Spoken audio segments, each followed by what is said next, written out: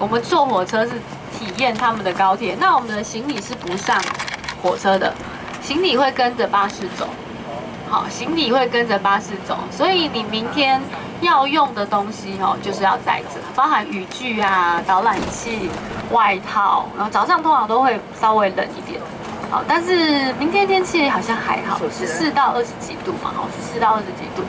那十四度通常都是凌晨的时候，哦，所以我们明天就是。